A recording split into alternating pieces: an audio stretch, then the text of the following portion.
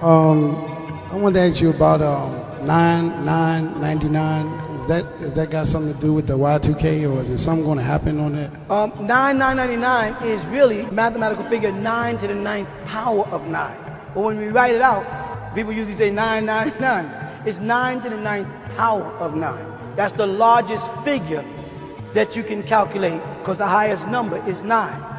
Anything else, any numbers above 9 are compound numbers. Meaning 11 is a compound of two ones. 12 is a compound of a 1 and 2. They're not numbers. They're compound figures. So 9 is the highest number. We have two figures of death and destruction that pertains to the beast, and his was 6666. That was when he last time the devil came into power on earth.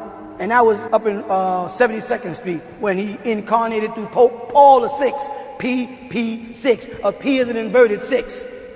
You follow that? And then we have our own 999, ninth month, ninth day of 1999, which was the end of the devil's rule. Those two figures there. In Freemasonry, they hide behind the sacred number of the sacred names of Ra and say he has 69 names. What I'm saying? That 69 names is symbolic of 6 and 9. 6 ether, 9 ether. 9 ether in death becomes ghost in 6 ether. 6 ether in death becomes nothingness. Like it says, He restoreth my soul. So that you can have your soul removed and you can have your soul restored. Unless their soul is restored, they dissipate into nothingness. You follow? That's what happens with 6 ether. Inverted 9.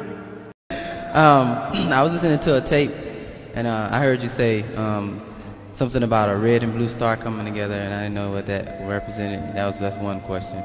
Um, another one is I, I was noticing that we dealing a lot with um, like microorganisms and stuff like that, you know, in the, in the books, and I'm trying to figure out, you know, that's that's kind of a little bit different from what, so some of the things that we usually did. And That another, we usually did.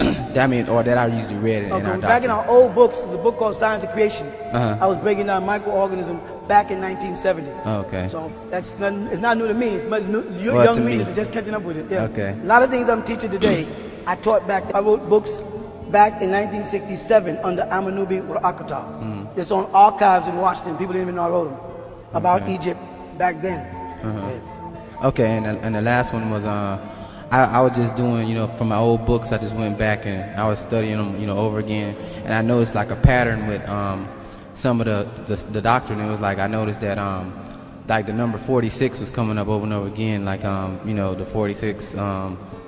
Um, people with um, Tammuz that did, did plagiarization, and- Chromosomes, all yeah, that like that. And I was just 46 dynasties. Uh-huh, yeah. I was trying That's to an figure out. Egyptian figure. I mean, I'm just, you know, is it more to that? Those those three yes. questions is more. It- no, not more to the words, it's more to the number. Uh, Egyptians were in numerology.